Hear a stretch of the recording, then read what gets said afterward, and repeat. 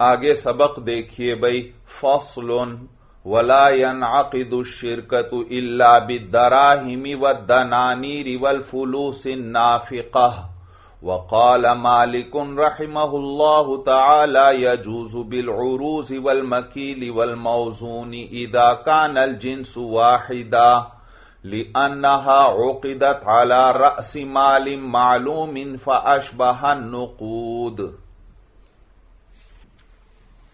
भाई, गुजश्ता सबक में आप मसला पढ़ रहे थे कि दो शरीक हैं जिन्होंने आपस में अकद मुफावजा किया हुआ है और इनमें से एक शरीक जो है किसी अजनबी की तरफ़ से कफील बन जाता है माल का भाई।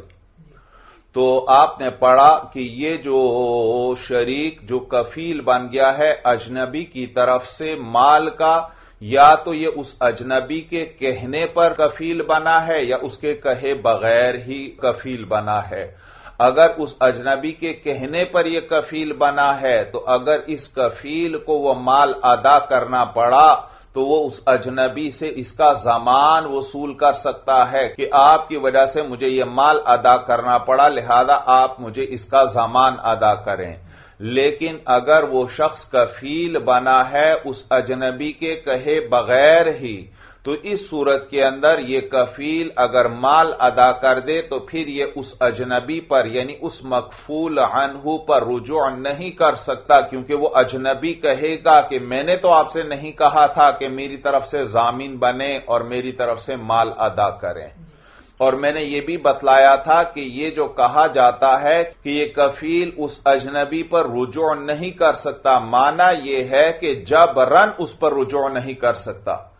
जब यह कफील उस अजनबी के कहे बगैर कफील बना है और फिर इसने माल अदा किया है तो यह जबरन उस पर रुजू नहीं कर सकता, यानी कि उसे काजी के पास ले जाए और उससे जमान वसूल कर ले, ऐसा नहीं कर सकता। हाँ, अलबत्ता अगर उस अजनबी के कहने पर इसने जमानत दी थी और फिर इसे माल अदा करना पड़ा तो फिर यह जबरन उससे जमान वसूल कर सकता है, काजी के पास ले जाकर भी भाई। तो सूरत मसला यह ज़िक्र हो रही थी मतन के अंदर कि अगर दो शरीकों में से एक जो है वो किसी अजनबी की तरफ़ से कफील बन गया और उस अजनबी के कहने पर यह कफील बना है तो क्या इस कफील के शरीक से भी इस दैन का मुतालबा हो सकता है या नहीं? क्या उस पर भी यह दैन लाजिम हुआ है या नहीं? तो इमाम साहब फरमाते हैं कि इस कफील के शरीक पर भी यह दैन लाजिम हो गया है। उससे भी इस माल का मुतालबा किया जा सकता है। जबकि साहिबैन फरमाते हैं कि नहीं, यह अकद कफालत जो है, अकद तबर्र है और एक शरीक का तबर्र दूसरे शरीक पर लाजिम नहीं होता भाई।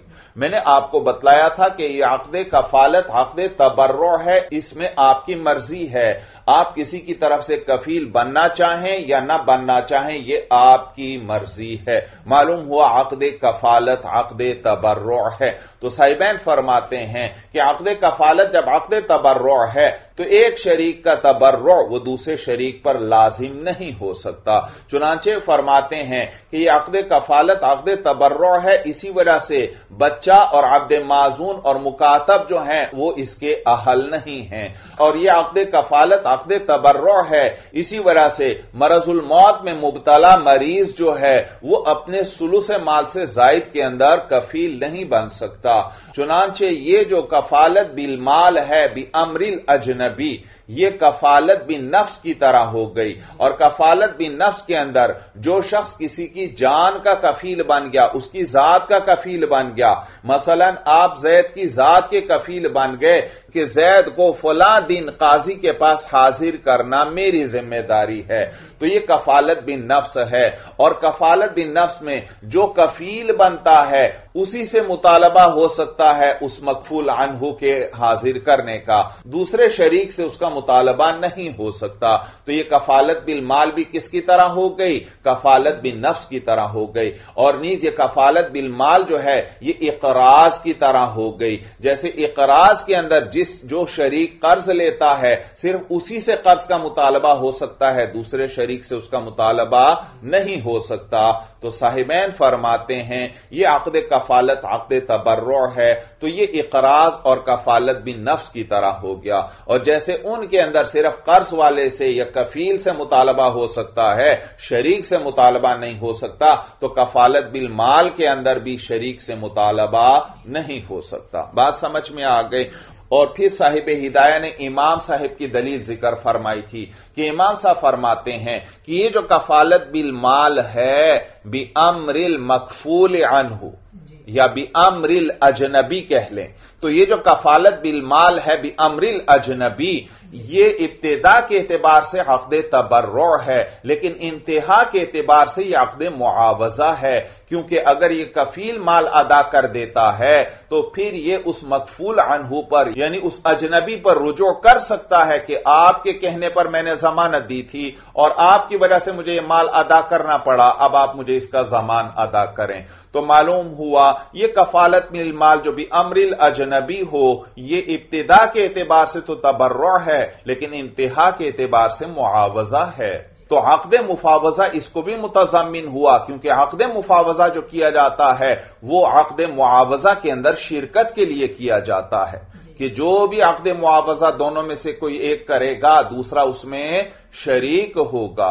तो लिहाजा यहाँ पर भी इस माल का मुतालबा उसके शरीक से किया जा सकता है भाई। और फिर साहिब हिदाय ने इमाम साहिब की तरफ़ से जवाब भी दिया था।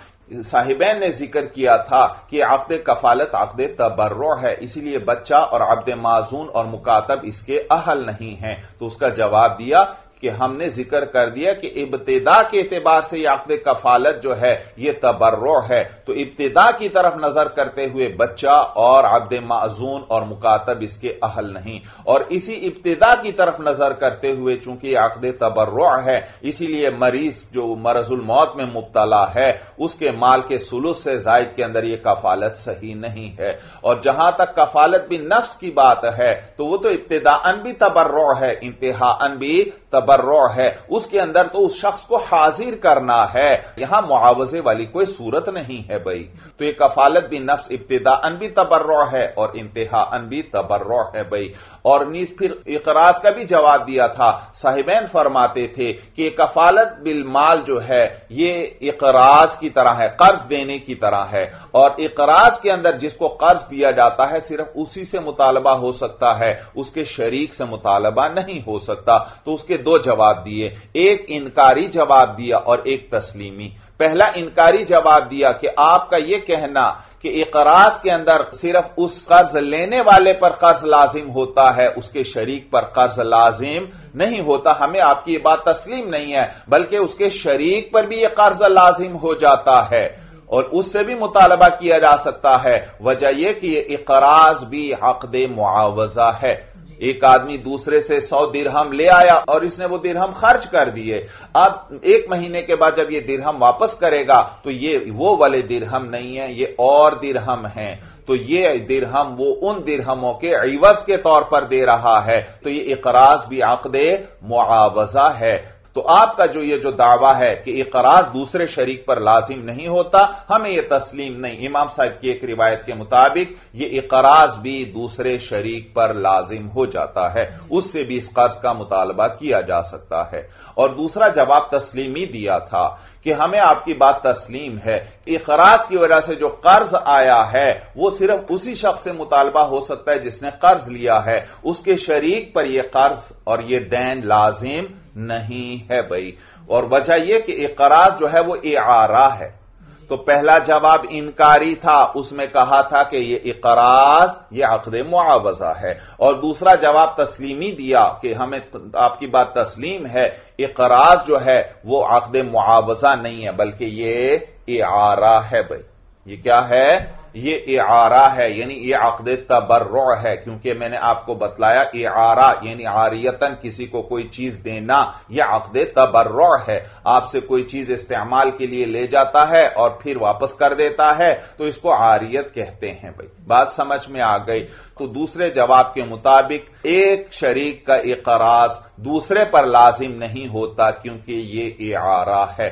अलबत्ता आरा के अंदर ऐन वही चीज़ वापस की जाती है जो इस्तेमाल के लिए ली थी। लेकिन इकराज के अंदर जो है, वहाँ पर तो उस कर्ज का मिसल वापस किया जाता है। जो दिरहम लिए थे वो तो खर्च कर दिए। अब उसके मिसल दिरहम वापस किए जा रहे हैं। लेकिन इस मिसल का भी वही हुक्म है जो आयन उन असल दिरहमों का था। यूँ समझेंगे बेआईन ही वही दिरहम वापस किए जा रहे हैं भाई।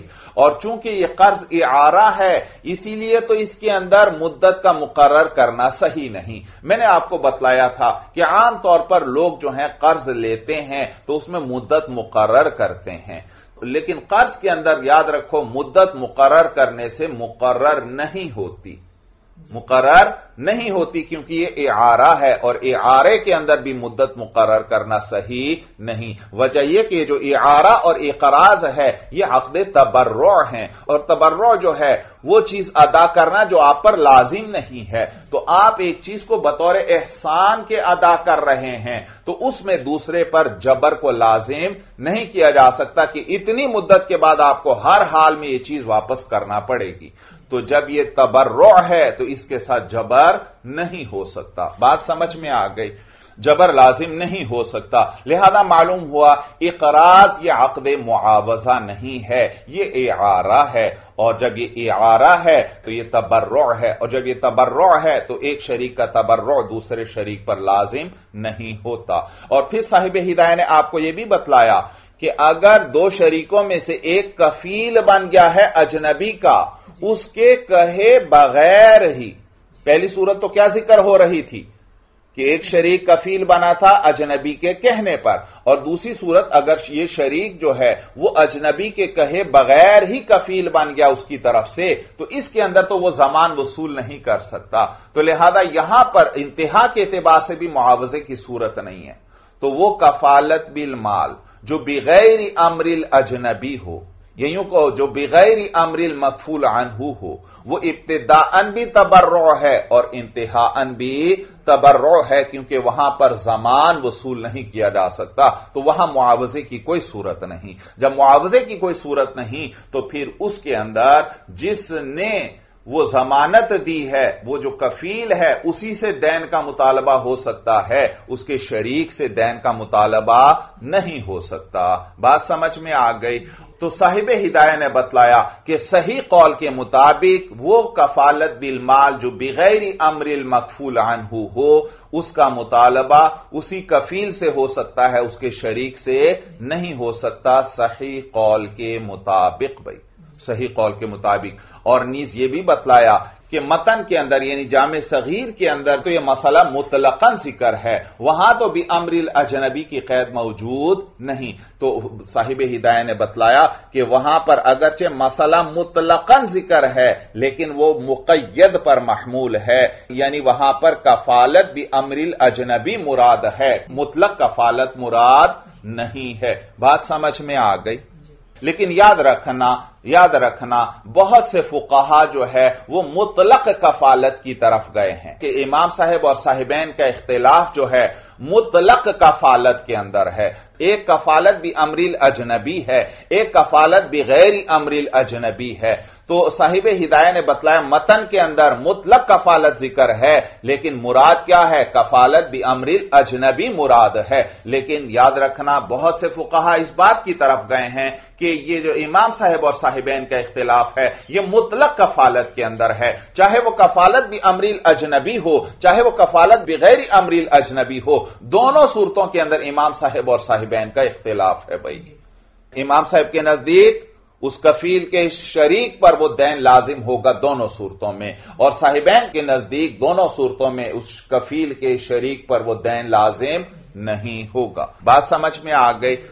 और साहिब हिदाय ने यह भी बतलाया कि दो शरीकों में से अगर एक शरीक जो है किसी की चीज़ गसब कर लेता है और उसकी वजह से जमान उस पर लाजिम आता है, या एक शरीक किसी अजनबी की कोई चीज़ हलाक कर देता है और उसकी वजह से उस शरीक पर जमान आता है तो यह गसब और इस्तेहलाक जो है यह भी इंतहा के एतबार से मुआवजा की कबील से है कि यह उस गसब का जमान दे रहा है, या उस इस्तेहलाक का जमान दे रहा है तो लिहाजा इस दैन का मुतालबा भी दोनों शरीकों से किया जा सकता है भाई। और उसके बाद साहिब हिदाया ने आपको बतलाया कि वो दो शरीक जिन्होंने आपस में अकद मुफावजा किया हुआ है। अगर उनमें से कोई एक ऐसे माल का वारिस बन गया जिसमें शिरकत सही है, यानी दिरहम और दीनार और फुलू से नाफिका, यानी जो राइज पैसे हैं तो अगर दोनों में, शरीकों में से एक जो है, उसको वरासत में दिरहम या दीनार वगैरह मिल गए, या उसको किसी ने दिरहम और दीनार वगैरह हिबा कर दिए तो इस सूरत में अब दोनों का माल बराबर न रहा।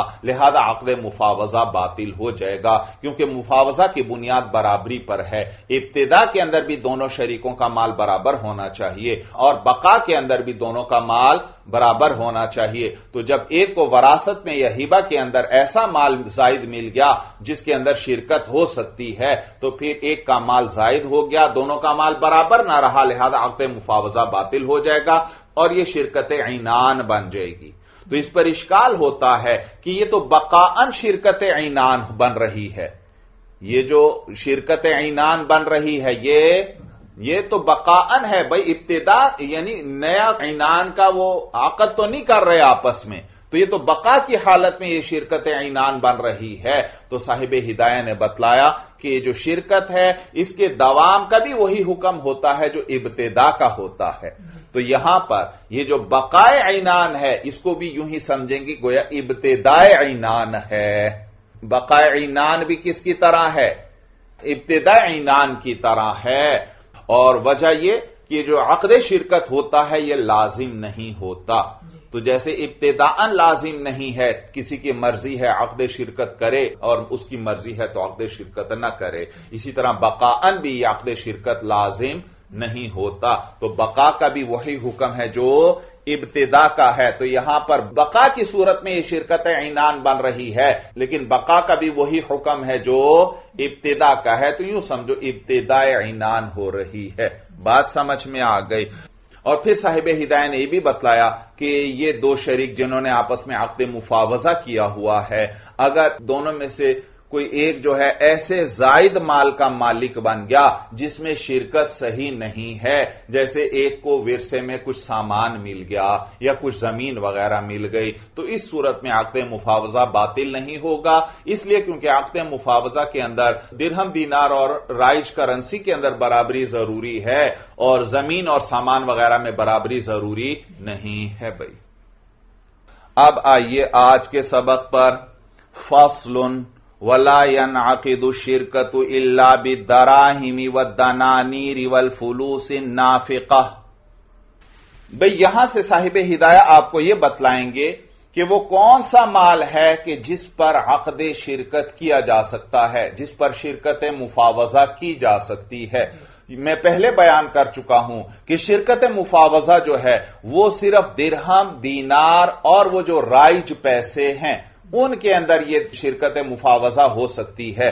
लिहाजा दोनों शरीकों के दिरहम, दीनार और राइज करेंसी बराबर होनी चाहिए। अगर एक के पास 20 दिरहम है तो दूसरे के पास भी 20 दिरहम होने चाहिए भाई। और अगर दोनों का माल बराबर नहीं तो फिर अकद मुफावजा नहीं हो सकता।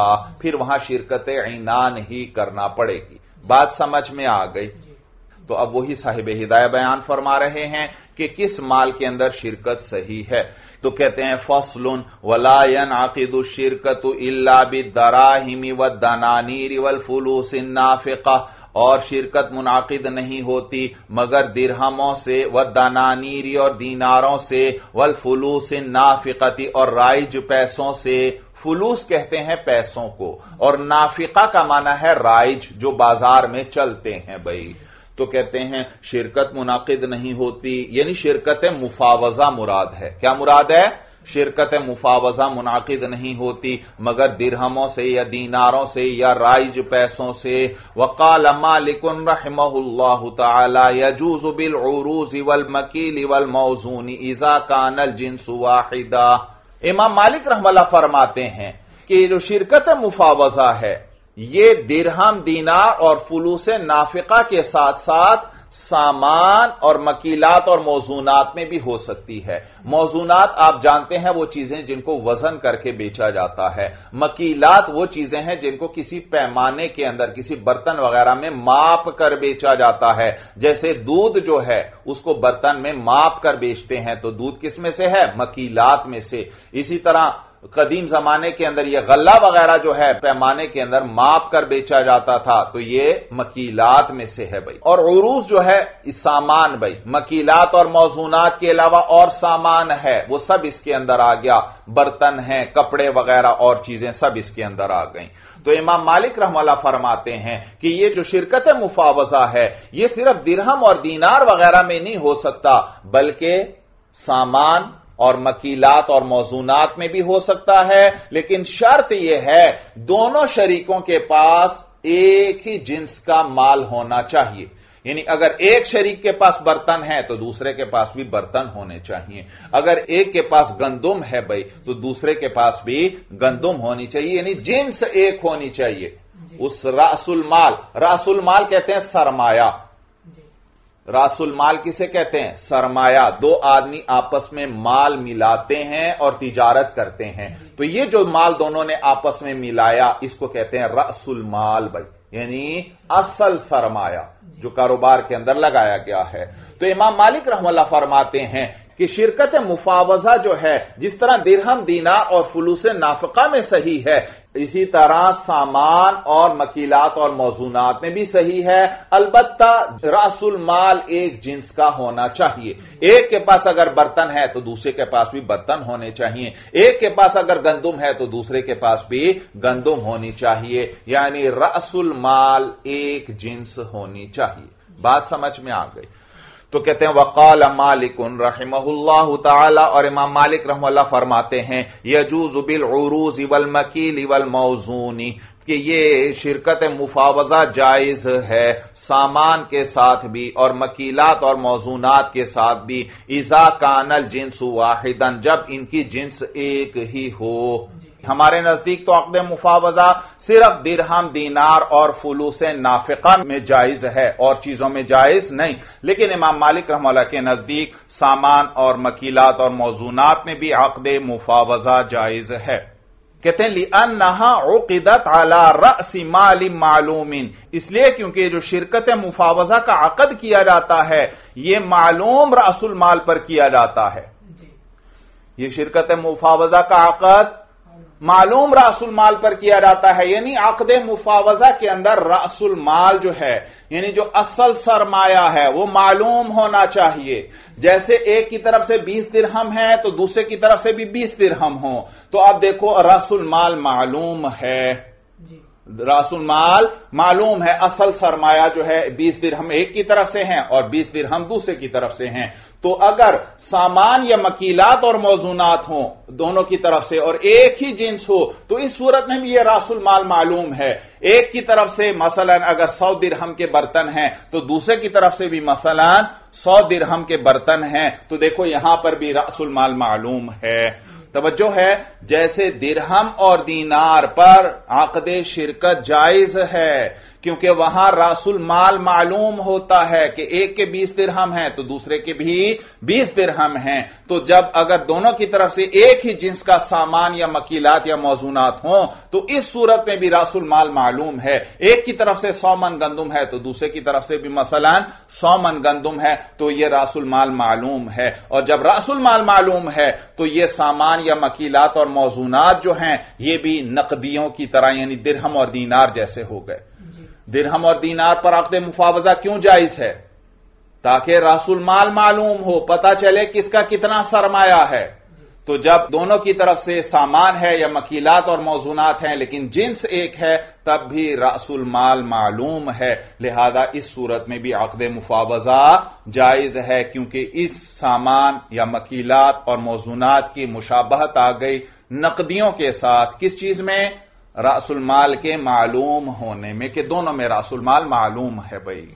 फिर तर्जमा देख लीजिए। कहते हैं, वकाल मालिकुन रहमहुल्लाह ताला यजूज बिल उरूज वल मकील वल मौजूनी। और इमाम मालिक रहमला के नज़दीक, आकद मुफावजा जायज़ है सामान के साथ भी और मकीलात और मौजूनात के साथ भी। इजा कानल जिन्स वाहिदन, जब जिन्स एक ही हो। लिअन्नहा उक़िदत अला रअसी मालिम मालूमिन। इसलिए क्योंकि शिरकत मुफावजा का आकद किया जाता है मालूम रसुल माल पर। फअशबह नुकूदा तो ये जो सामान मकीलात और मौजूनात वगैरह हैं। इनमें से हर एक जो है वो नकदियों के मुशाबे हो गया।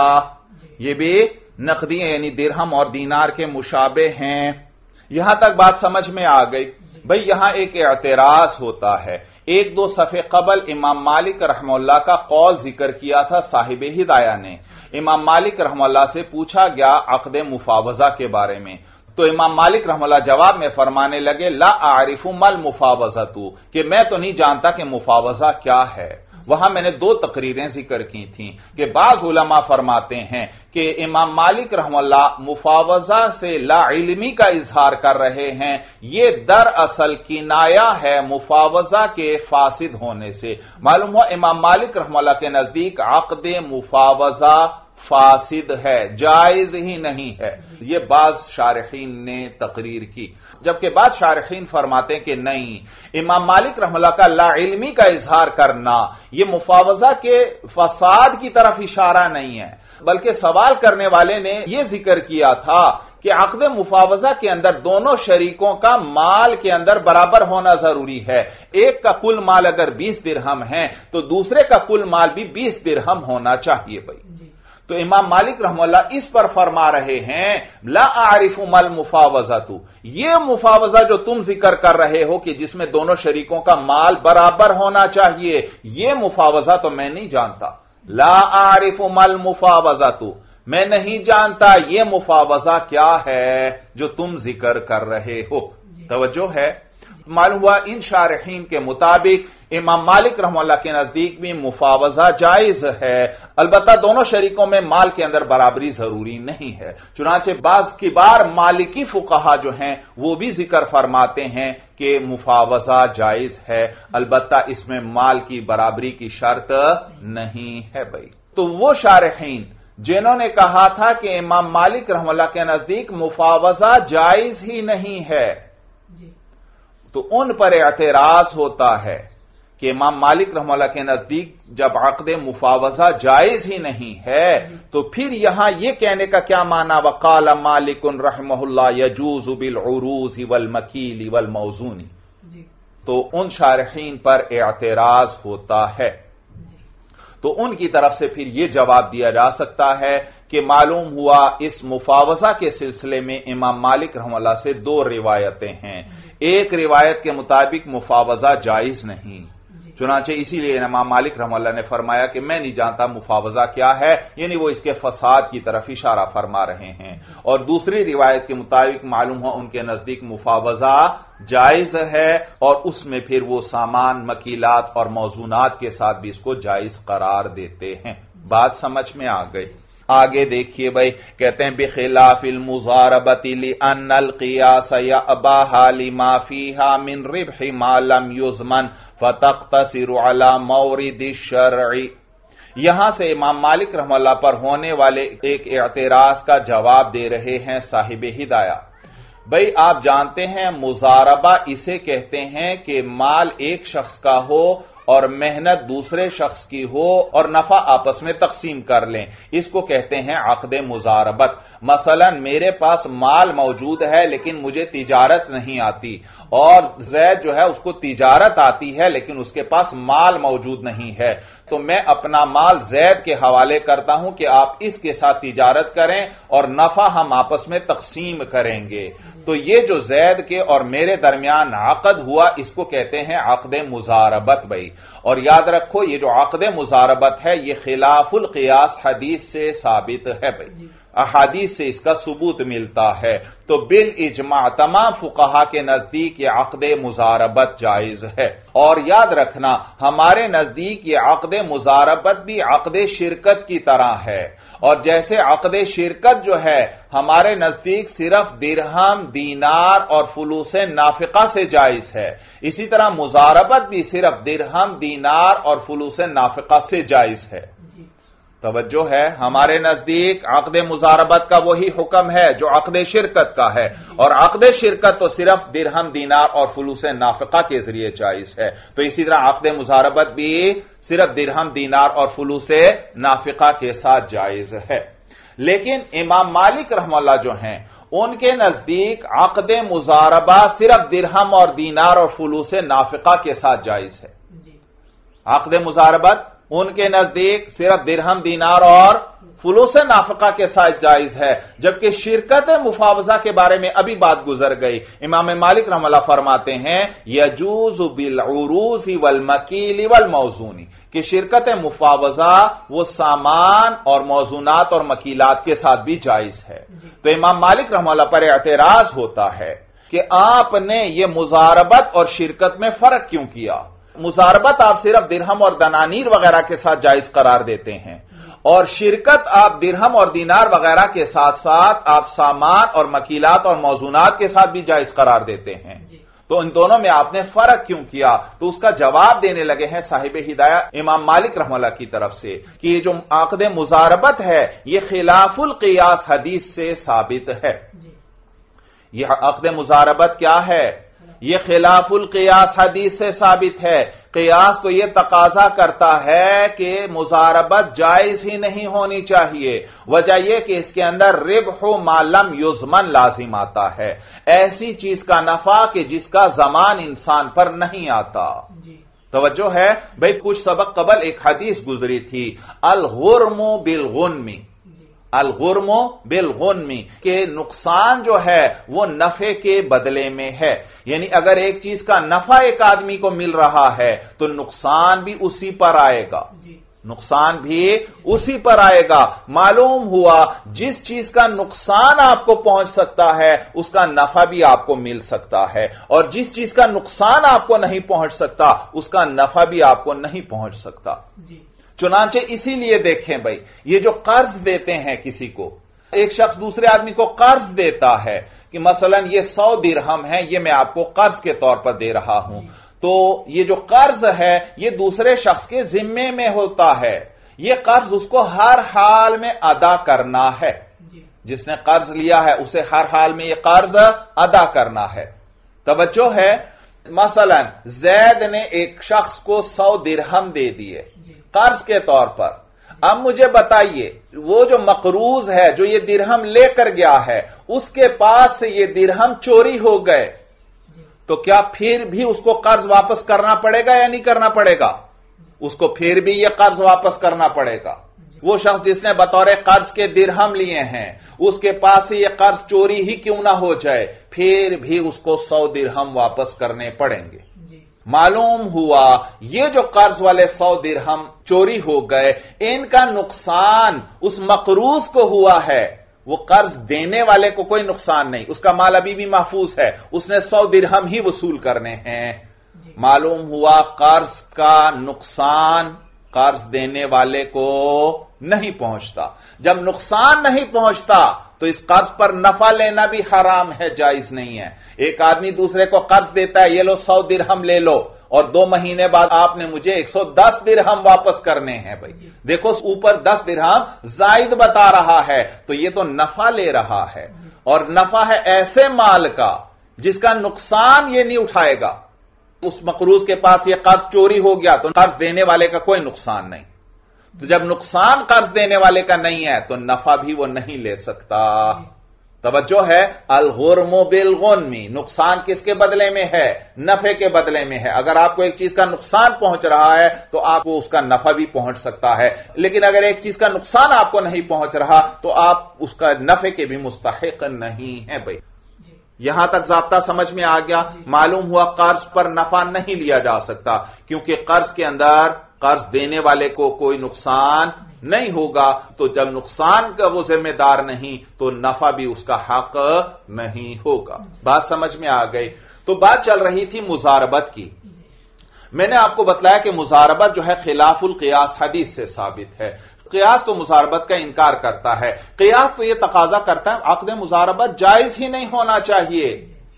क्योंकि इसके अंदर एक शख्स को नफा मिल रहा है बगैर नुकसान के। एक शख्स को नफा मिल रहा है बगैर नुकसान के। वो किस तरह? मसलन देखो मैंने जैद से अकद मुजारबत कर लिया तो माल मेरा है और तिजारत जैद करेगा। और नफा हम दोनों आपस में तकसीम करेंगे। तो मैंने अपना माल जैद को दे दिया अकद मुजारबत के बाद। याद रखो ये जो मुजारबत का माल मैंने उस मुजारिब को दिया है ये माल उसके पास बतौर अमानत के है। ये माल उसके पास बतौर अमानत के है लिहाजा जैद से अगर कोई ये माल चोरी करके ले गया तो जैद का कोई नुकसान नहीं हुआ मेरा ही नुकसान हुआ वो जो रब्बुल माल है वो जो माल वाला है उसी का नुकसान है। मुजारिब का कोई नुकसान नहीं, क्योंकि मुजारिब के पास यह माल बतौर अमानत के है। और आप जानते हैं, अमानत के अंदर अगर कोई ज्यादती न की जाए तो उसका जमान नहीं आता। हाँ, अगर कोई अमानत के अंदर ज्यादती करता है तो फिर उस पर जमान आता है। तो ये जो माल होता है, मुजारिब के पास ये अमानत के हुक्म में है। ये उसके पास से चोरी हो जाए तो उसका कोई नुकसान नहीं। ये रबुल माल का, यानी माल वाले ही का नुकसान है। और ये भी याद रखें मैंने माल जैद को दे दिया। जैद इस माल के ज़रिए तिजारत कर रहा है। तो तिजारत के अंदर जितना भी नुकसान होगा वो सारा मेरा ही नुकसान हो रहा है क्योंकि माल तो सारा मेरा है। जैद पर कोई नुकसान नहीं है। तवज्जो है?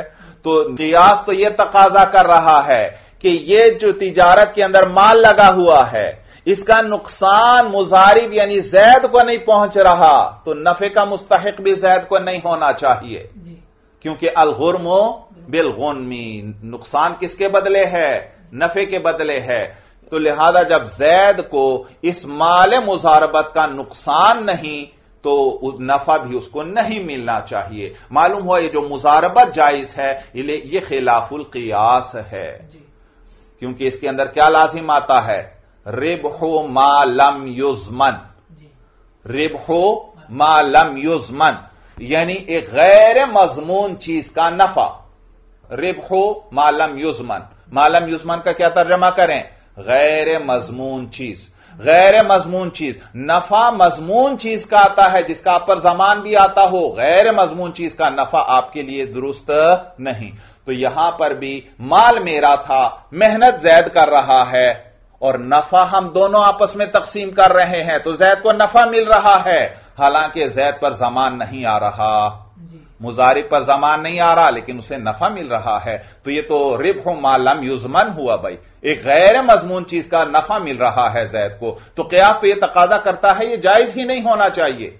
लेकिन खिलाफुल कयास या मुजारबत अहादीस से साबित है कि यह आकद जायज़ है भाई।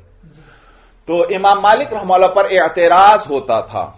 कि आकद शिरकत और आकद मुजारबत दोनों का हुक्म एक होना चाहिए। लेकिन आपके नज़दीक अकद मुजारबत तो सिर्फ़ दिरहम और दीनार वगैरह के साथ जायज़ है, जबकि आकद शिरकत दिरहम और दीनार वगैरह के अलावा सामान और मकीलात और मौजूनात के साथ भी जायज़ है। तो आपने इन दोनों में यह फ़र्क क्यों किया? तो उसका जवाब देंगे साहिब हिदाया इमाम मालिक रहमला की तरफ़ से कि यह जो मुजारबत है यह खिलाफुल कयास हदीस से साबित है। खिलाफुल कयास क्यों है? क्योंकि इसके अंदर रिब हो मालम युजमन लाजिम आता है। यानी गैर मजमून चीज़ का नफा इसमें लाजिम आता है। तो कयास तो इसको रद्द करता है। लेकिन खिलाफुल कयास ये हदीस से साबित है। और जो चीज़ खिलाफुल कयास नफ से साबित हो, वो अपने मौरिद पर बंद रहती है। वो अपने मौरिद पर बंद रहती है। लिहाजा ये मुजारबत का जो जवाज ज़िक्र हुआ है, वो सिर्फ़ दिरहम और दीनार वगैरह में ज़िक्र है तो मुजारबत सिर्फ़ दिरहम और दीनार वगैरह में ही जायज़ होगी। सामान और मकीलात और मौजूनात को इन पर कयास करते हुए उनमें मुजारबत को जायज़ करार नहीं दिया जा सकता क्योंकि यह मुजारबत खुद खिलाफुल कयास है। तो इस पर और चीज़ों को कयास नहीं किया जा सकता। बात समझ में आ गई। तो कहते हैं बेखिलाफ मुजारबती, बखिलाफ मुजारबत के लिअल कयास बाहा इसलिए क्योंकि कयास जो है, मुजारबत का इनकार करता है। लिमा फीहा मिन रिब लम युजमन। इस वजह से कि मुजारबत के अंदर जो है, एक गैर मजमून चीज़ का नफा लाजिम आता है। फतख्त सिरुअला मौरिद शरई, लिहाजा ये मुजारबत बंद रहेगी शरीयत के वारिद होने की जगह में, और शरीयत तो मुजारबत के बारे में वारिद हुई है दिरहम और दीनार में। तो सिर्फ़ दिरहम और दीनार में ही मुजारबत जायज़ होगी, और चीज़ों में जायज़ नहीं। और यही हुक्म है फुलूस नाफिका का भी। उनका हुक्म भी किसकी तरह है? दिरहम और दीनार वाला। तो सिर्फ़ इन्हीं के अंदर यह मुजारबत जायज़ है और सामान और मकीलात और मौजूनात में मुजारबत जायज़ नहीं है भाई। आगे देखिए वलाना अब हमारी दलील आ गई। इमाम मालिक रहमला क्या फरमाते हैं कि शिरकत मुफावजा सामान और मकीलात और मौजूनात के साथ भी जायज़ है। हम कहते हैं, नहीं, शिरकत मुफावजा सिर्फ़ दिरहम और दीनार और फुलूस नाफिका में तो जायज़ है। सामान और मकीलात और मौजूनात में जायज़ नहीं। अब उसकी दलील ज़िक्र करेंगे। व लाना और हमारी दलील यह है कि अनहू यू अद्दी इला रिब मालम युजमन, कि यह अकद शिरकत पहुँचा देगा रिब मालम युजमन तक। अगर हम ये अकद शिरकत कर लें सामान पर या मकीलात और मौजूनात पर तो यह कहाँ तक पहुंचाएगा? रिबहो मालम युजमन तक। और अभी आपने पढ़ा रिबहो मालम युजमन यह तो जायज़ ही नहीं है। नफा तो सिर्फ़ उसी चीज़ का जायज़ है कि जिसका जमान भी आप पर आए और जिस चीज़ का जमान आप पर नहीं आता उसका नफा भी आपके लिए जायज़ नहीं। तो हमारे नज़दीक अगर सामान या मकीलात और मौजूनात पर अकद शिरकत जायज़ हो जाए तो यह कहाँ तक पहुँचा देगा? रिबहो मालम युजमन तक पहुँचा देगा, और वो तो जायज़ नहीं है। तो कहते हैं वलाना हमारी दलील यह है कि अनहू यू अद्दी इला रिब है मालम युजमन, कि यह अकद शिरकत जो सामान वगैरह पर किया जाए यह पहुँचा देगा रिब मालम युजमन तक, और वो तो जायज़ नहीं है। ले अनहू इदा बाकुल वाहिदिम मिन हुमारा समाली ही किस तरह रिफ मालम युजमन लाजिम आएगा? वह बयान करने लगे हैं। आप यही समझ लीजिए। मसलन भाई, मेरे पास भी सौ दिरहम के बर्तन हैं। आपके पास भी सौ दिरहम के बर्तन हैं। अब हम दोनों आपस में अकद शिरकत कर लेते हैं इमाम मालिक रहमल्ला के कौल के मुताबिक। हमने अकद शिरकत कर लिया। अब मैंने अपना सामान बेचा। मसलन मेरे बर्तन थे सौ दिरहम के। और मैंने बेचा तो वसूल भी सौ दिरहम ही हुए। जो उनकी कीमत बनती थी वो ही वसूल हुए। लेकिन जैद ने जब वही अपने सौ दिरहम वाले बर्तन बेचे उसको कोई अच्छा गाहक मिल गया कोई अच्छा मुश्तरी मिल गया वो उसने 110 दिरहम में बेच दिए। वो उसने 110 दिरहम में बेच दिए। जब 110 दिरहम में बेचे हैं तो 100 दिरहम तो वो सामान की कीमत थी। और बाकी दस दिरहम नफा आया है और हम दोनों ने अकद शिरकत किया हुआ है तो उस दस दिरहम में से पाँच दिरहम वो मुझे देने पड़ेंगे। तो मुझे नफा मिला और किस चीज़ का नफा मिला है? एक गैर मजमून चीज़ का। अगर वो बर्तन जैद के पास हलाक हो जाते तो जैद का नुकसान होना था। मेरा नुकसान तो नहीं था। तो देखो मुझे नफा मिल रहा है उन बर्तनों का जिनका जमान मेरे ऊपर नहीं आ रहा भाई। तो क्या लाजिम आया? रिफो मालम युजमन लाजिम आया। तो कहते हैं अनहु इदा बाकुल वाहिदिन रसा माली ही इसलिए क्योंकि जब दोनों शरीकों में से हर एक ने अपने रासुल माल को फरोख्त कर दिया, व तफाजला समानानी और दोनों समन जो है, उनमें कमी बेशी हुई। तफाजुल का माना है एक चीज़ का दूसरे पर जायद होना। जब एक चीज़ जायद होगी तो दूसरी कम हो जाएगी। तो तर्जमा क्या कर लेंगे? कमी बेशी। तो कहते हैं, जब दोनों ने में से हर एक ने अपने रासुल माल को बेचा, मेरा रासुल माल क्या था? सौ दिरहम के बर्तन। जैद का रासुल माल भी क्या है? सौ दिरहम के बर्तन है। तो हम दोनों ने अपने रासुल माल को बेचा। व तफाजला समनानी। और वो दो समन जो हैं, उनमें कमी बेशी हुई। मसलन, एक का उसी कीमत पर फरोख्त हुआ। और दूसरे के अंदर नफा भी आ गया। तो कहते हैं फमा यस्तहिक आहदुहुमा मीना जियादती फ़ी माली साहिबी ही तो दोनों में से एक जो है अपने साथी के माल के अंदर जिस ज्यादती का मुस्तक हो गया। मेरे बर्तन तो कितने के फरोख्त हुए? सौ दिरहम के। लेकिन जैद के बर्तन कितने के फरोख्त हुए? 110 दिरहम के। तो 100 दिरहम तो बर्तनों की कीमत थी 10 दिरहम नफा आ गया। तो देखो ये जो मेरे साथी के माल के अंदर जो ज्यादती आ गई जो। नफा आ गया उसका मैं मुस्तहिक बन गया। तो ये क्या है? रिब मालम युजमन है। यह माना है फमा यस्तहिक आहदुहुमा मीना जियादती फीमाली साहिबी भाई ये मीना जियादती फीमाली साहिबी ही। ये बयान है फमा यस्तहिकहू का। और मैंने आपको बतलाया था कि बयान को मुबैन की जगह ले आए। माँ की जगह इस मीना ज्यादती फ़ी माली साहिब ही इसको ले आए। तर्जमा बेहतरीन हो जाएगा। तो कहते हैं फमा यस्तक आहदुमा मीना जियादती फ़ी माली साहिब ही। तो इन दोनों में से एक जो उस ज्यादती का मुस्तक हो रहा है जो उसके साथी के माल में आई ये जो है रिब हो मालम यम लिक व मालम यजमीन। तो ये नफा है उस चीज़ का जिसका ये मालिक नहीं है और जिसका यह जामिन नहीं है।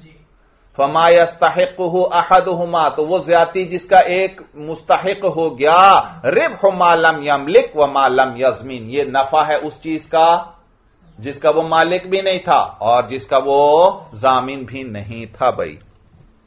बेखिलाफी दराहिमी व दनानीरी बखिलाफ दिरहमों और दीनारों के भाई सूरत ये। मैंने और जैद ने अकद शिरकत कर लिया। मेरे पास भी बीस दिरहम जैद के पास भी बीस दिरहम। तवज्जो है। मेरे पास बीस दिरहम हैं। जैद के पास भी बीस दिरहम हैं। हम दोनों ने आपदे शिरकत कर लिया और मैंने इस बीस दिरहम की कोई चीज़ खरीदी और फिर बेच दी तो दस दिरहम का मुझे नफा हो गया। तो अब यह नफा मुझे जैद को भी निसफ देना पड़ेगा। तवज्जो है तो इश्काल होता है। यह नफा तो मैंने अपने दिरहमों से कमाया है। जैद इन दिरहमों का मालिक भी नहीं और जैद इन दिरहमों का जामिन भी नहीं। तो फिर कैसे जैद जो है इस नफे के अंदर शरीक हो सकता है? तो वही अब साहिब हिदाया बयान फरमाएँगे कि भाई ये दिरहम और दीनार तायन से भी मुतन नहीं होते। मैंने किसी से गाड़ी खरीदी है अकद शिरकत के बाद। तो ज़रूरी नहीं है मैं यही दिरहम अदा करूँ जो मेरे पास हैं। बल्कि इस गाड़ी के समन देना मेरे जिम्मे है और फिर उसके निसफ के अंदर मैं जैद पर रुजो करूँगा। मैं जैद पर रुजो करूँगा। मालूम हुआ निसफ जमान जैद पर आ रहा है उस चीज़ का। मालूम हुआ, दिरहम और दीनार के अंदर जो नफा आता है, वो रिब हो मा लम युजमन नहीं है, बल्कि रिब हो मा युजमन है। उसमें दूसरे पर जमान आता है। मैं बेशक अपने दिरहमों से चीज़ खरीद रहा हूँ, लेकिन फिर मैं निसफ समन के अंदर जैद पर रुजू करूँगा। कि निसफ समन अब आपको देने पड़ेंगे, क्योंकि आपने और मैंने आकदे शिरकत किया हुआ है। बात समझ में आ गई। शायद अभी भी आप पर बात पूरी तरह वाजह न हुई हो कि दिरहम और दीनार तायन से मुतन नहीं होते। देखिए, एक दो और मिसालें देख लीजिए इंशाला फिर बात पूरी तरह वाजह हो जाएगी। भाई, याद रखो, ये जो और सामान है, या मकीलात और मौजूनात हैं, वो तायन से मुतन हो जाते हैं। मैं आपके साथ ब्या करता हूँ और आपसे कोई सामान खरीदता हूँ, या मैं आपसे मकीलात और मौजूनात में से कोई चीज़ खरीदता हूँ तो वो तयन से मुतन हो जाएँगे। मसलन, आपके पास कुछ बर्तन मौजूद हैं। मैंने उन बर्तनों की तरफ़ इशारा करके कहा कि ये जो बर्तन हैं, ये मैंने आपसे इतने समन के बदले खरीद लिए और आपने कहा मुझे कबूल है। तो याद रखो, ईजाब और कबूल होते ही बै मुनाकिद हो गई। और यह सामान जिसकी तरफ़ मैंने इशारा किया था, जिनकी हमने आपस में बै की है यह मुतन हो गया बतौर मबी के। अब आपको यही सामान मेरे हवाले करना पड़ेगा, क्योंकि यह सामान मबीहा है भाई, और सामान तयन से मुतन हो जाता है। और अगर यह सामान मुश्तरी के हवाले करने से पहले ही बाय के पास ही हलाक हो गया तो याद रखो बै ही खत्म हो जाएगी, क्योंकि मबिया ही ना रहा तो बै भी बाकी नहीं रहेगी। क्योंकि बै तो इसी मबिया की हुई थी। जब मबिया का वजूद नहीं तो बै का वजूद भी बाकी ना रहा। और इसी तरह याद रखो, ये जो मकीलात और मौजूनात हैं, ये भी तयन से मुतन हो जाते हैं। मसलन आपके पास सौ मन गंदुम मौजूद है। मैंने उस गंदुम की तरफ़ इशारा करते हुए कहा कि ये जो आपकी सौ मन गंदुम है, ये मैंने आपसे इतने समन के बदले में खरीद ली। आपने कहा, मुझे कबूल है। तो याद रखो, ये गंदुम जिसकी तरफ़ मैंने इशारा किया, ये भी अब तयन से मुतन हो गई। यही मबिया है। अब आपको यही गंदुम मेरे हवाले करना पड़ेगी। अगर यह गंदुम आपके पास हलाक हो गई तो याद रखो बै ही खत्म हो जाएगी, क्योंकि मबिया ही बाकी ना रहा। जबकि इसके मुकाबले में दिरहम और दीनार तायीन से भी मुतन नहीं होते। मसलन, मैं आपसे एक बैग करने लगा, मैंने सौ दिरहम सामने रखे और उनकी तरफ़ बाकायदा इशारा करके कहा कि ये जो दिरहम हैं, इनके बदले में मैंने आपकी गाड़ी खरीद ली और आपने कबूल कर लिया, हम दोनों के दरमियान बै मुनद हो गई। लेकिन याद रखो, ये जो सौ दिरहम हैं, जिनकी तरफ़ मैंने इशारा किया था, ये इशारे के बावजूद तायीन के बावजूद ये मुतन नहीं हुए। लिहाजा इस बै के अंदर यही दिरहम आपके हवाले करना मुझ पर लाजिम नहीं है। बल्कि इसके बजाय मैं इस जैसे और सौ दिरहम ले आता हूँ और वो आपके हवाले करता हूँ तो भी बाय इनकार नहीं कर सकता, बाय एतराज़ नहीं कर सकता कि ये जो दिरहम सामने पड़े हैं जिनकी तरफ़ आपने इशारा किया था, आपको यही दिरहम देने पड़ेंगे। मैं और दिरहम नहीं लूँगा। नहीं भाई, दिरहम और दीनार तायीन से भी मुतन नहीं होते। सूरत समझ में आ रही है? या दूसरी सूरत देख लें। मैंने सौ दिरहम सामने रखे और उनकी तरफ़ इशारा करके कहा कि ये जो दिरहम है, इनके बदले मैंने आपसे गाड़ी खरीद ली और आपने कबूल कर लिया। हम दोनों के दरमियान बै मुनद हो गई और फिर वो दिरहम अभी मैंने आपके हवाले नहीं किए थे कि ये दिरहम जो सामने मौजूद थे, ये नीचे दरिया में गिरे और डूब गए। मबिया हलाक हो तो बै बातिल हो जाती है। लेकिन ये दिरहम और दीनार, ये तो तयन से भी मुतन नहीं होते। लिहाजा ये अगरचे हलाक हो गए हैं, लेकिन बै बातिल नहीं है। बल्कि अब मुश्तरी के जिम्मे है कि वो इस जैसे और दिरहम अदा करे। तो अगर ये दिरहम और दीनार तायन से मुतन होते, फिर तो ये दिरहम जाया होने पर बै को फासिद होना चाहिए था। लेकिन बै फिर भी फासिद नहीं। बात समझ में आ गई। दिरहम और दनानीर की तरफ़ इशारा भी कर दिया जाए। फिर भी वह मुतन नहीं है। वही दिरहम बाय को देना यह ज़रूरी नहीं है, बल्कि उन जैसे और दिरहम भी अदा किए जा सकते हैं। तो मालूम हुआ दिरहम और दीनार तायन से मुतन नहीं होते, जबकि सामान और मकीलात और मौजूनात जो हैं, वो तयन से मुतन हो जाते हैं। जब मुतन सामान की या मुतन मकीलात और मौजूनात की बै की है तो वही मबिया है, वही मुश्तरी के हवाले करने पड़ेंगे। अगर वो मुतन मबिया यानी वो सामान या मकीलात और मौजूनात हलाक हो गए तो बै ही खत्म हो जाएगी, क्योंकि मबिया का वजूद ना रहा तो बै का वजूद भी बाकी नहीं रहेगा। बात समझ में आ गई। तो कहते हैं, बेखिलाफ दराहिमी व दनानीरी, बखिलाफ दिरहम और दीनारों के लिअन समन मा यश्तरी ही फ़ी जिम्मती ही इसलिए क्योंकि समन उस चीज़ के जिसको दोनों में से हर एक खरीदता है, फ़ी जिम्मती ही उसके जिम्मे में होते हैं। भाई, मेरे पास बीस दिरहम है जैद के पास भी बीस दिरहम है। मैंने बीस दिरहम की कोई चीज़ खरीद ली। तो अब ज़रूरी नहीं है कि मैं यही बीस दिरहम उसके हवाले करूँ। बल्कि मेरे जिम्मे है बीस दिरहम, मुझे देने पड़ेंगे। और उन बीस में से भी दस मैं किससे ले सकता हूँ? जैद से ले सकता हूँ कि मुझे अब दस दिरहम दे दें। तो कहते हैं अन न समना मायश्तरी ही फ़ी जिम्मती ही इसलिए क्योंकि दोनों में से हर एक जो है, जिस चीज़ को भी खरीदता है, उसके समन, उसके जिम्मे में होते हैं। इस ही अल्लाह यतायनु इसलिए क्योंकि दिरहम और दीनार मुतन नहीं होते। फकान रिबह मा जमीना तो ये नफा है उस चीज़ का जो मजमून है। फकान रिबह काना के अंदर हुआ जमीर राज है रिबह को। इबारत गोए यूँ है फकान रिब हो रिबह मा जमीना। तो यह नफा जो है यह मजमून चीज़ का नफा है गैर मजमून चीज़ का नफा नहीं है भाई। तो कहते हैं, फकान रिब माजामीना तो यह नफा जो है, एक मजमून चीज़ का नफा है। वली अन्ना अव्वल तसरुफी फिल उरूजिल बैउ फिन नकूद शेराऊ यहाँ से दूसरी दलील ज़िक्र फरमा रहे हैं। इमाम मालिक रहमल्ला फरमाते हैं कि सामान वगैरह में भी शिरकत मुफावजा जायज़ है। हम कहते हैं, नहीं, सामान में शिरकत मुफावजा जायज़ नहीं, वरना तो रिब मालम युजमन लाजिम आएगा। और जबकि दिरहम और दीनार जो हैं, उसके अंदर जो नफा होता है, वो रिफ मायूजमन होता है। क्योंकि दूसरे शरीक पर निसफ समन के अंदर रुजू किया जाता है वहाँ। मालूम उस पर जमान आ रहा है। जब जमान उस पर आ रहा है तो उसके लिए नफा भी जायज़ हो जाएगा। बात समझ में आ गई। अब दूसरी दलील ज़िक्र कर रहे हैं कि भाई, एक है दिरहम और दीनार में शिरकत, और एक है सामान के अंदर शिरकत। दोनों में फ़र्क है। दिरहम और दीनार के अंदर जब शिरकत करेंगे तो पहला अमल क्या करेंगे? कोई चीज़ खरीदेंगे उस दिरहम और दीनार के ज़रिए और फिर उसको बेचेंगे।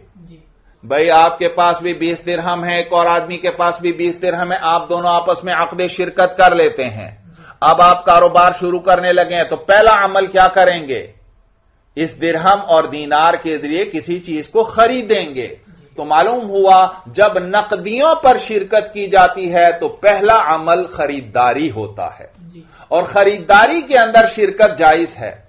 आप अपने माल से एक गाड़ी खरीदते हैं उसमें आप और जैद शरीक हों यह जायज़ है। आप खरीदते किसके ज़रिए हैं? अपने माल के ज़रिए। लेकिन जैद भी आपके साथ शरीक हो जाए यह मुमकिन है जायज़ है। किस तरह जायज़ है? मसल जैद ने आपसे कहा था कि आप एक गाड़ी खरीद लें आप अपने पैसे लगा दें, बाद में मुझसे आधे पैसे ले लेना, आपकी मेरी मुश्तरका गाड़ी हो जाएगी। तो अब आप अपने माल से गाड़ी खरीदते हैं, लेकिन उसमें जैद भी क्या हो गया आपके साथ? शरीक। तो लिहाजा, जब दिरहम और दीनार के अंदर शिरकत की जाती है तो पहला अमल उसके अंदर खरीदारी होता है, और खरीदारी के अंदर मबिया के अंदर दूसरा आदमी भी उस खरीदार के साथ शरीक हो सकता है। लेकिन अगर शिरकत सामान पर है आपके पास भी सौ दिरहम के बर्तन हैं और दूसरे आदमी के पास भी सौ दिरहम के बर्तन हैं और आपने आपस में अकदे शिरकत कर लिया तो अब पहला अमल क्या करना पड़ेगा? सामान को बेचना पड़ेगा। सामान को बेचना पड़ेगा। और याद रखो आप अपना सामान बेचें और उसके संबंध में आपके साथ कोई और भी शरीक हो जाए यह जायज़ नहीं। तवज्जो है आप अपने माल से कोई चीज़ खरीदें तो उसमें तो कोई दूसरा आपके साथ शरीक हो सकता है उसने आपको वकील बनाया हो। लेकिन आप अपने माल को बेचें और उसके संबंध में कोई और भी आपके साथ शरीक हो जाए यह नहीं हो सकता। आप अपनी गाड़ी बेचते हैं। और जैद कहता है कि आप अपनी गाड़ी बेच दें और उसके समन के अंदर मैं भी आपके साथ शरीक हूँगा नहीं भाई, गाड़ी आपकी है तो समन भी आप ही के हैं। हासिल कलाम यह कि अपने माल से कोई चीज़ खरीदी जाए, उसमें गैर शरीक हो सकता है। लेकिन अपने माल को बेचा जाए तो समन में गैर शरीक नहीं हो सकता। लिहाजा सामान और मकीलात और मौजूनात में अकद शिरकत जायज़ नहीं, क्योंकि इस सूरत में सामान के समन में दूसरे को शरीक करना लाजिम आएगा और यह जायज़ नहीं है। तो कहते हैं, वली अन्ना अव्वल तसरुफ़ फिल उरूजिल बै और इसलिए क्योंकि सामान के अंदर जो पहला तसरुफ होता है, वो बै है वफिन नकूद शिरा और नकदियों के अंदर पहला तसरुफ जो है, वो खरीदारी होती है वह बै अहदी हिमा मालहू और दोनों शरीकों में से एक का अपने माल को बेचना। अला यकून अल आखर शरीकन फ़ी समन ही इस शर्त पर के दूसरा भी उसके साथ समन में शरीक होगा। ला यजूजू, ये जायज़ नहीं है। वह शिरा अहदिमा शय अम्बी माली ही और दोनों शरीकों में से एक का किसी चीज़ को अपने माल से खरीदना। अला यकून अल मबी बैन व बैन गैरी ही जायजुन। इस शर्त पर कि मबिया उसके और गैर के दरमियान मुश्तरका होगा। जायजुन, ये जायज़ है। सूरत अच्छी तरह समझ में आ गई। लिहाजा सामान और मकीलात और मौजूनात में अकद शिरकत जायज़ नहीं, क्योंकि इस सूरत में सामान के समन में दूसरे को शरीक करना लाजिम आएगा और यह जायज़ नहीं है। आगे देखिए भाई वह अमल फुलू सुन्ना फिकतु तरूजू रवा जल असमान। यहाँ से साहिब हिदाया आपको बतलाएँगे कि जो फुलूस नाफिका हैं इनके साथ भी अकद शिरकत जायज़ है या जायज़ नहीं? इनके साथ भी अकद मुजारबत जायज़ है या जायज़ नहीं? इसमें इमाम मोहम्मद रहमल्ला का और शेखैन रहमल्ला का इख्तिलाफ है। इमाम मोहम्मद रहमल्ला फरमाते हैं कि ये जो फलूस नाफिका हैं, ये जो बाज़ार में समन चलते हैं, जिनके साथ लोग खरीदो फरोख्त करते हैं, जैसे रुपए, पैसे वगैरह तो इनका हुक्म भी दिरहम और दीनार वाला है इमाम मोहम्मद रहमल्ला के नज़दीक। जैसे दिरहम और दीनार तयन से मुतन नहीं होते इसी तरह यह फुलूस नाफिका भी तयन से मुतन नहीं होते। लिहाजा इनका हुक्म भी दिरहम और दीनार वाला है। और जैसे दिरहम और दीनार के साथ अकद शिरकत और अकद मुजारबत जायज़ है तो फुलूस नाफिका के साथ भी अकद शिरकत और अकद मुजारबत जायज़ है इमाम मोहम्मद रहमल्ला के नज़दीक। भाई, यहाँ एक कीमती बात याद रखना। याद रखो, ये जो सोना और चांदी हैं इनको अल्लाह ने पैदा ही बतौर समन के फरमाया है। इनको पैदा ही तिजारत के लिए किया गया है ताकि इसके ज़रिए लोग आपस में तिजारत कर सकें आपस में बेओ कर सकें। तो ये जो सोना और चांदी हैं ये खिलकतन समन है। यानी इनको अल्लाह ने पैदा ही बतौर समन के फरमाया है। चुनाचे इसीलिए सोने से दीनार बनाए जाते हैं और चांदी से दिरहम बनाए जाते हैं। तो ये दिरहम और दीनार ये समन है, ये इसी सोने और चांदी से बने हैं। मालूम हुआ, ये दिरहम और दीनार, या यूँ कहें, ये जो सोना और चांदी, ये खिलकतन समन है। और दूसरे समन जो बाज़ार में किसी मुल्क की जो करेंसी होती है, याद रखो, वो समन इस्तिलाही है। यानी जिसको समन करार दे दिया जाता है, आपस में इत्तेफाक करते हुए। जैसे हर मुल्क की अपनी अपनी करेंसी है तो उस मुल्क के अंदर वही करेंसी चलती है और उसके ज़रिए खरीदो फरोख्त की जाती है। यानी उस करेंसी को समन मुकर्र कर लिया जाता है। उस करेंसी को समन मुकर कर लिया जाता है। खिलकत के एतबार से वो समन नहीं है लेकिन उन्होंने इसको समन मुकर कर दिया है। तो इसको कहते हैं समन इस्तेलाही। तो ये जो दिरहम और दीनार हैं ये समन है खिलकतन। और ये जो करेंसी और सिक्के वगैरह हैं याद रखो ये समन इस्तेलाही हैं भाई। समन इस्तेलाही हैं। और फिर यहाँ आकद सर्फ को भी समझ लें। याद रखो आकद सर्फ इसे कहते हैं कि दो आदमियों के दरमियान बै होती है और दोनों तरफ़ इवज जो है वो समन की जिन्स से होते हैं। मसलन आप दिरहम बेचते हैं और उसके बदले में दीनार खरीदते हैं। तो दिरहम ये भी समन की कबील से और दीनार ये भी समन की कबील से। तो दोनों तरफ़ से जब इवाजैन जो हैं वो समन की कबील से हों तो इसको अकद सर्फ कहते हैं। इसको क्या कहते हैं? आकद सर्फ बाई सौद के साथ है।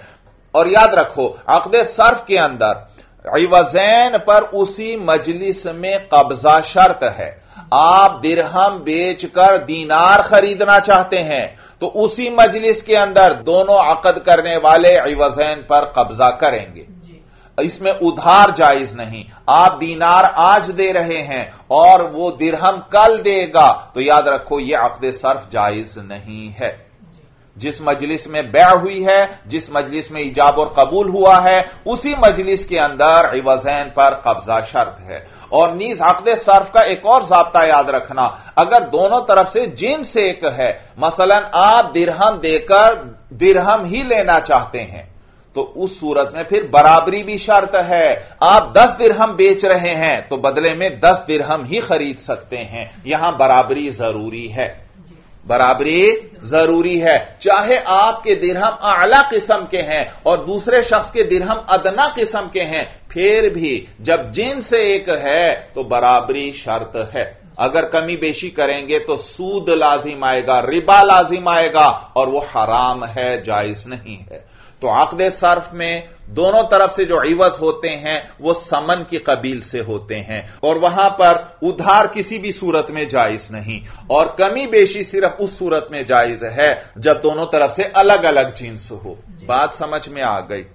तो बात चल रही थी कि इमाम मोहम्मद रहमल्ला फरमाते हैं कि ये जो फुलूस नाफिका हैं, इनका भी वही हुक्म है जो दिरहम और दीनार का है। और दिरहम और दीनार जो हैं, जैसे उनके अंदर आपस में बैर की जाए, दोनों तरफ़ से समन की जिन्स हो और एक ही जिन्स हो तो फिर बराबरी शर्त है। इसी तरह फुलूस नाफिका जो है, इनका भी यही हुक्म है। तो लिहाजा एक सिक्के की बै करना दो सिक्कों के बदले जब जिन्स एक ही हो यह जायज़ नहीं है। जैसे एक दिरहम को बेचना दो दिरहमों के बदले यह जायज़ नहीं है। या इसी तरह एक रुपया देकर दो रुपए खरीदना यह जायज़ नहीं क्योंकि जिन्स एक है। लेकिन अगर जिन्स अलग है, फिर कमी बेशी जायज़ है। मसलन आपके पास है डॉलर और दूसरे शख्स के पास है पाकिस्तानी रुपए तो अब आप एक डॉलर के बदले मसलन दो सौ रुपए लेते हैं तो यह जायज़ है क्योंकि जिन्स अलग है। अलबत्ता उधार यहाँ भी जायज़ नहीं, नकद हो गई। नकद हो, बात समझ में आ गई, हासिल कलाम ये कि अकद सर्फ में उधार किसी भी सूरत में जायज़ नहीं। और कमी बेशी सिर्फ़ उस सूरत में जायज़ है जब दोनों इवजैन की जिन्स अलग अलग हो। तो इमाम मोहम्मद रहमल्ला फरमाते हैं कि ये जो फुलूस नाफिका है, इनका हुक्म भी दिरहम और दीनार वाला है। लिहाजा इनके अंदर भी जब आपस में बैठ करें तो एक सिक्के के बदले दो सिक्के लेना जायज़ नहीं। एक रुपए के बदले दो रुपए लेना जायज़ नहीं है। जबकि शेखैन रहमल्ला फरमाते हैं कि नहीं, ये जो फुलूस नाफिका है, इनका हुक्म सामान वाला है। इनका हुक्म दिरहम और दीनार वाला नहीं। जब दिरहम और दीनार वाला हुक्म नहीं, सामान वाला हुक्म है तो कमी बेशी के साथ बै जायज़ है। यानी एक देकर दो सिक्के खरीदना जायज़ है। अलबत्ता उधार वो भी फरमाते हैं, यहाँ उधार जायज़ नहीं है, क्योंकि जिन्स एक ही है। आपने पढ़ा है भाई, रिबा की तफसील उलमा ज़िक्र फरमाते हैं, अगर जिन्स और कदर एक हो, जिन्स और कदर एक हो तो फिर कमी बेशी भी जायज़ नहीं और उधार भी जायज़ नहीं है। जिन्स यानी दोनों तरफ़ मसलन गंदुम है। और कदर यानी गंदुम जो है वो कैली है। हुजूर सलाम के जमाने में उसको बर्तन में माप कर बेचा जाता था। तो दोनों तरफ़ जब गंदुम है तो फिर इनको इसी तरह माप कर बराबरी के साथ बेचना पड़ेगा भाई। तो मालूम हुआ कि मकीलात और मौजूनात जो हैं इनकी जब बै की जाए तो अगर एक ही जिन्स हो तो फिर कमी बेशी भी जायज़ नहीं और उधार भी जायज़ नहीं। लेकिन अगर जिन्स तो एक है लेकिन कदर नहीं है यानी वो चीज़ कैली या वजनी नहीं है तो फिर नकद तो कमी बेशी के साथ जायज़ है उधार जायज़ नहीं।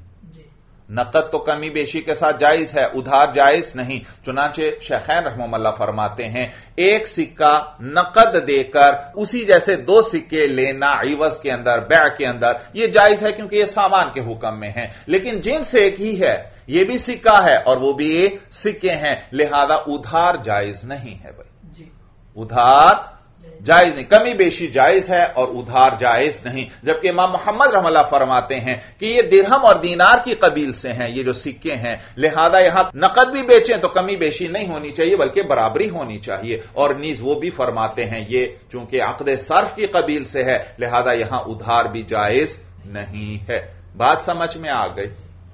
अब देखिए भाई किताब पर, कहते हैं वह अमल फुलूसुन नाफिकतु और बाकी राइज पैसे जो होते हैं, तरूज रवा जल असमानी, वो समन की तरह राइज होते हैं। फुलूस नाफिका किसकी तरह राइज होते हैं? समन की तरह, जैसे समन के ज़रिए, यानी दिरहम और दीनार के ज़रिए बाज़ार में खरीद और फरोख्त होती है, इसी तरह ये जो राइज करेंसी होती है, इसके ज़रिए भी बाज़ार में खरीदो फरोख्त होती है। तो फलूस नाफिका जो है, वो समन की तरह राइज होते हैं भाई और याद रखना, यहाँ लफ्ज आया, तरूजू रवाजल असमानी राजा या रूजू रवाजन भाई।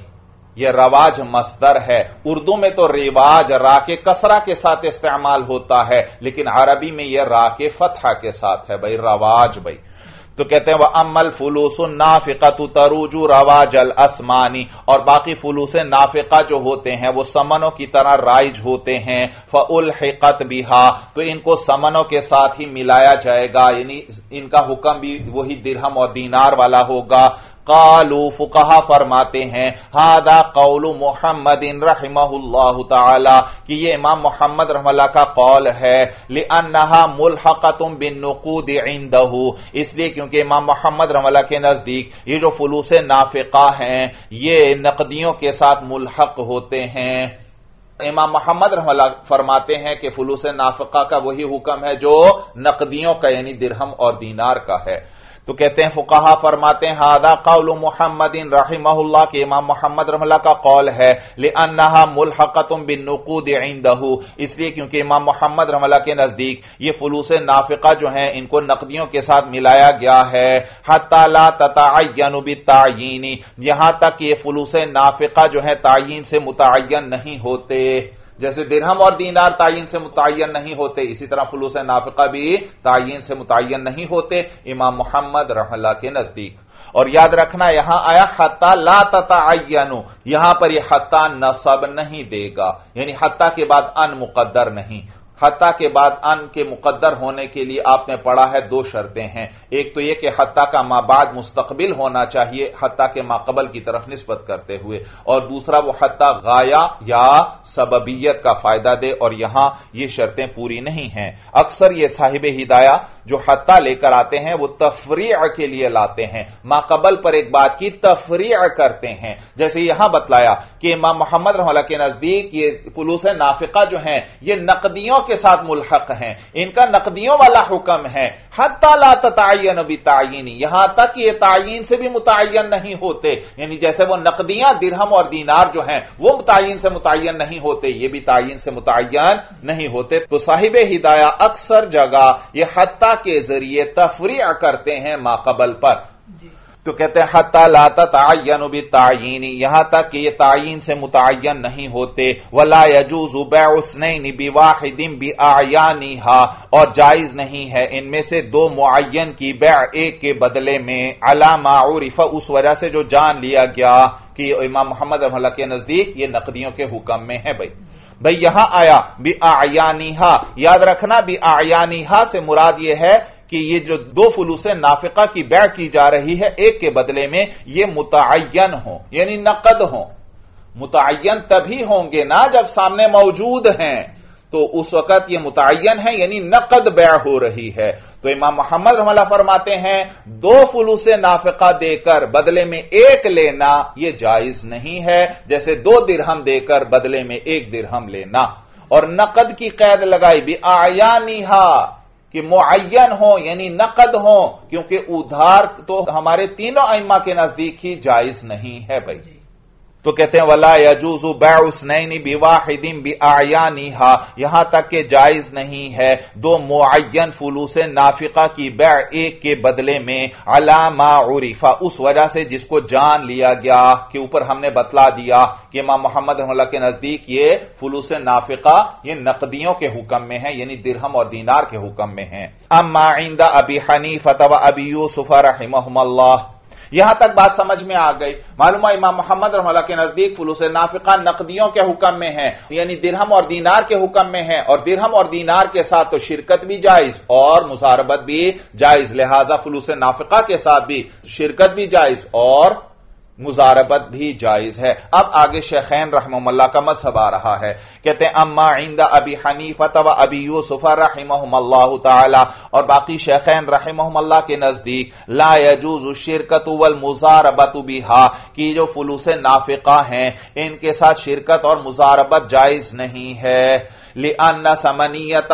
ततबदल सातन फसातन इसलिए क्योंकि इन फुलूस नाफिका का समन होना वो घड़ी घड़ी बदलता रहता है। भाई बाज औकात एक मुल्क के अंदर एक करेंसी चल रही होती है और फिर ऐलान कर दिया जाता है कि फुला तारीख के बाद यह पुरानी करेंसी इसके ज़रिए बैशिरा जायज़ नहीं, बल्कि उसके बाद नई करेंसी जो है वो इस्तेमाल की जाएगी। तो मालूम हुआ कि वो फुलूस जो पहले चल रहे थे, अब वो किसके हुक्म में हो गए? सामान के हुक्म में हो गए। तो शेखैन रहमल्ला फरमाते हैं, ये जो फुलूस नाफिका होते हैं, इनकी समनीयत बदलती रहती है। कभी इनको बतौर समन के इस्तेमाल किया जाता है, और कभी इनकी समनीयत खत्म करके इनको सामान करार दे दिया जाता है भाई। तो कहते हैं अन्न समनी यतहा कहते हैं, इसलिए क्योंकि ये जो फुलूस नाफिका है, इनका समन होना ततबदलुसातन फसातन ये घड़ी घड़ी बदलता रहता है। व तसीर और ये जो फुलूस नाफिका हैं, ये सामान बन जाते हैं। मालूम हुआ फुलूस नाफिका इंतहा अन सामान बन जाते हैं। इंतहा अन सामान बन जाते हैं। तो अगर कोई चीज़ इब्तदान सामान हो उसके साथ शिरकत और मुजारबत जायज़ नहीं तो जो इंतहा सामान हो उसके साथ भी उसके साथ भी शिरकत और मुजारबत जायज़ नहीं होगी। तवज्जो है। भाई अभी ऊपर आपको बतलाया कि हमारे नज़दीक सामान और मकीलात और मौजूनात के अंदर शिरकत और मुजारबत जायज़ नहीं है। मालूम हुआ इब्तदान सामान और मकीलात और मौजूनात के साथ आकद शिरकत और मुजारबत जायज़ नहीं। जब इब्तदान इस सामान के साथ शिरकत जायज़ नहीं तो जो चीज़ इंतहान सामान बन जाए उसके साथ भी आकद शिरकत जायज़ नहीं होगा भाई। तो ये फलूस नाफिका इंतहा अन सामान के हुक्म में है। तो जब ये इंतहा अन सामान के हुक्म में है तो इनके साथ शिरकत जायज़ नहीं होगी भाई। आगे देखिए। कहते हैं वयुरवान अबी यूसुफा ताला मिस कौल मोहम्मद रहमहुल्लाह ताला। भाई, ऊपर इख्तिलाफ ज़िक्र हो गया। इमाम मोहम्मद रहमल्ला के नज़दीक फुलूस नाफिका के साथ शिरकत और मुजारबत जायज़ है। शेखैन रहमल्ला के नज़दीक फुलूस नाफिका के साथ शिरकत और मुजारबत जायज़ नहीं। कहते हैं, लेकिन एक कौल इमाम अबू यूसुफ रहमल्ला का इसी तरह का नकल किया गया है, जैसा इमाम मोहम्मद रहमल्ला का कौल है। इमाम मोहम्मद रहमल्ला के नज़दीक फुलूस नाफिका के साथ शिरकत और मुजारबत जायज़। तो इमाम अबू यूसुफ रहमल्ला से भी एक रिवायत के अंदर नकल किया गया है। वो फरमाते हैं कि फुलूस नाफिका के साथ शिरकत और मुजारबत जायज़ है भाई। तो कहते हैं वयुरवान अबी यूसुफ ताला, मिसल कौल मोहम्मद रहमहुल्लाह ताला। और इमाम अबू यूसुफ रमला से भी, इमाम मोहम्मद रमला के कौल के मिसल रिवायत किया गया है, वल अव्वलु अकियसु व अजहरू। और पहला कौल ज़्यादा कियास के मुताबिक है व अजहरू और ज़्यादा ज़ाहिर है। भाई देखिए, इमाम अबू यूसुफ रमला के दो कौल आ गए यहाँ पर। एक कौल ऊपर ज़िक्र हुआ कि शेखैन रहमल्ला के नज़दीक फुलूस नाफका के अंदर शिरकत और मुजारबत जायज़ नहीं। और शेखैन रहमल्ला में इमाम अबू यूसुफ रमल्ला भी दाखिल हैं। तो मालूम इमाम अबू यूसुफ रमल्ला के एक कौल के मुताबिक फुलूस नाफका से शिरकत और मुजारबत जायज़ नहीं। और दूसरा कौल जो उनसे नकल किया गया है, वो इमाम मोहम्मद रमला के मिसल है कि फुलूस नाफका के साथ भी शिरकत और मुजारबत जायज़ है। तो साहिब हिदाया फरमा रहे हैं कि इमाम अबू यूसुफ रमला का पहला कौल जो है, वो ज़्यादा कयास के मुताबिक है और ज़्यादा ज़ाहिर है। कि इन फुलूस नाफका के साथ शिरकत और मुजारबत जायज़ नहीं, ये ज़्यादा कयास के मुताबिक है और ज़्यादा ज़ाहिर है। भाई, क्या माना ये ज़्यादा कयास के मुताबिक है? कहते हैं, देखो, दो फुलूस नाफिका को देकर एक लेना, यानी दो सिक्के देकर एक सिक्का खरीदना, या एक रुपया देकर दो रुपए खरीदना, ऊपर गुजर गया। इमाम मोहम्मद रहला के नज़दीक जायज़ नहीं क्योंकि इनका हुक्म दिरहम और दीनार वाला है। और शेखैन रहमल्ला के नज़दीक यह जायज़ है। एक सिक्के की बै दो सिक्के के बदले जायज़ है। तो इमाम अबू यूसुफ रहमल्ला इस बै के मसले में इमाम साहिब के साथ हैं। किसके साथ? इमाम साहब के साथ हैं। तो कयास यही तकाजा करता है कि शिरकत और मुजारबत के मसले में भी वो इमाम साहब के साथ होंगे। भाई देखिए ऊपर मसला ज़िक्र हुआ था कि इमाम मोहम्मद रमला फरमाते हैं दो सिक्कों की बै एक के बदले जायज़ नहीं है चाहे नकद हो फिर भी जायज़ नहीं। जबकि शेखैन रहमल्ला फरमाते हैं कि एक सिक्के की बै दो सिक्कों के बदले जायज़ है क्योंकि ये सामान के हुक्म में है।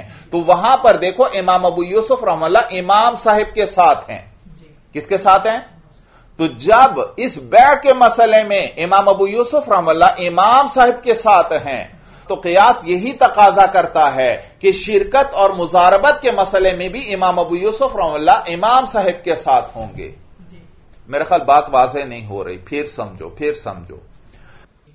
भाई देखिए यहाँ इमाम अबू यूसुफ रहमल्ला से दो रिवायतें हो गईं।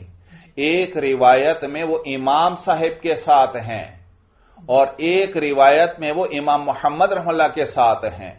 पहली रिवायत क्या आई? भाई गुजश्ता सतर में आया था। अम्मा इंद अबी हनीफत व अबी यूसुफ रहमल्लाहु यजूज शिरकतु वल मुजारबतु बिहा। तो इमाम अबू यूसुफ रहमल्ला एक रिवायत के मुताबिक इमाम साहिब के साथ हैं और उनके मुताबिक फुलूस नाफिका के साथ न शिरकत जायज़ है और न मुजारबत जायज़ है।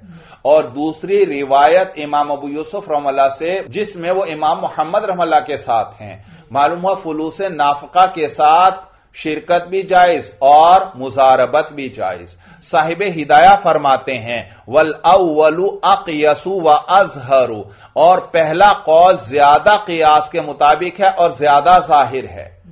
यानी इमाम अबू यूसुफ रमल्ला का जो कौल हमने पहले ज़िक्र किया कि वो इमाम साहिब के साथ हैं। कि फुलूस नाफका के साथ शिरकत भी जायज़ नहीं और मुजारबत भी जायज़ नहीं। यह ज़्यादा कियास के मुताबिक है और ज़्यादा ज़ाहिर है। सवाल पैदा होता है यह कियास के ज़्यादा मुताबिक किस तरह है? तो वजह समझ लें। भाई वजह यह कि पीछे बै का मसला ज़िक्र हुआ था कि वला यजूजू बै उस नईनी बिवाहिदीन बी आयानी हा अलामा उरिफा। इमाम मोहम्मद रहमला के नज़दीक फलूस नाफिका में से दो मुन सिक्कों को बेचना एक सिक्के के बदले में यह जायज़ नहीं है। जबकि शेखैन रहमल्ला के नज़दीक यह जायज़ है, क्योंकि फलूस नाफिका सामान के दर्जे में है। तो जब ब्या के मसले के अंदर इमाम अबू यूसुफ रहमल्ला इमाम साहब के साथ हैं कि दो सिक्कों की ब्या एक सिक्के के बदले जायज़ है। तो कयास यही तकाजा करता है कि वो इमाम अबू यूसुफ रहमल्ला शिरकत के मसले में भी इमाम साहब के साथ होंगे। इमाम मोहम्मद रमला के साथ नहीं होंगे। ये माना है, कहते हैं वल अव्वलु अकयसु व अजहरू। और इमाम अबू यूसुफ रमला का पहला कौल, कि जिसके मुताबिक उनके नज़दीक शिरकत और मुजारबत, फुलूस नाफिका से जायज़ नहीं, वो ज़्यादा कयास के मुताबिक है वह अजहरू, और ज़्यादा ज़ाहिर है। वाहन अभी हनीफत रहमल्ला और इमाम साहब से रिवायत किया गया है, सेहतुल मुजारबती बिहा, कि इन फुलूस नाफिका के साथ मुजारबत सही है। इमाम साहब से यह भी नकल किया गया है कि फलूस नाफका के साथ मुजारबत सही है। एक रिवायत तो ऊपर गुजर गई। इमाम साहब फरमाते हैं, फलूस नाफका के साथ शिरकत और मुजारबत जायज़ नहीं। लेकिन एक रिवायत इमाम साहब से यह भी नकल की गई है कि फलूस नाफिका के साथ मुजारबत जायज़ है। बात समझ में आ गई। हासिल कलाम यहाँ पर यह कि साहिब हिदाया ने आपको बतलाया कि इमाम मोहम्मद रमला के नज़दीक पुलूस नाफिका के साथ शिरकत और मुजारबत जायज़ है। और शेखैन रहमल्ला के नज़दीक फुलूस नाफिका के साथ शिरकत और मुजारबत जायज़ नहीं है। अलबत् इमाम अबू यूसुफ और इमाम साहिब से एक रिवायत इमाम मोहम्मद रहला की तरह भी नकल की गई है। याद रखो, उलमा फरमाते हैं, शामी वगैरह के अंदर है कि इस सिलसिले में ज़्यादा सही कौल यही है कि फलूस नाफिका के साथ शिरकत और मुजारबत जायज़ है। ज़्यादा सही बात यही है कि ये जो फलूस नाफिका हैं, सही कौल के मुताबिक ये दिरहम और दीनार के हुक्म में ही हैं। लिहाजा इनके साथ आकद मुजारबत भी जायज़ है और इनके साथ आकद शिरकत भी जायज़ है। बात समझ में आ गई, हल हो गया। चलिए बस बहादा हुआ मराम अल्लाह आलम भी हकीकत कलाम।